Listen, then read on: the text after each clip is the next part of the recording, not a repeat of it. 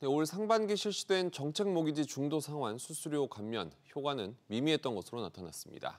금리가 가파르게 오르자 돈을 갚기보다 고정형 저금리를 부담하는 쪽을 택하고 있다는 분석이 나옵니다. 최나리 기자의 보도입니다.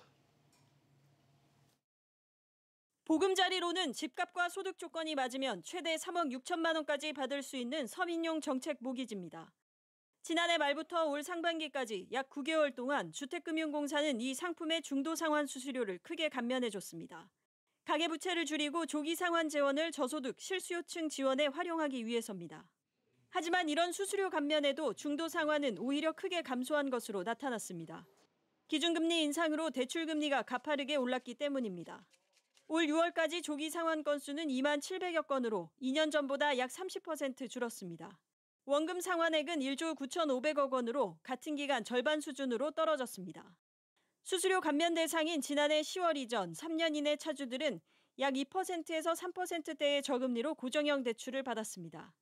고금리의 정책 모기지 상환 유도 정책도 차질이 빚어졌습니다.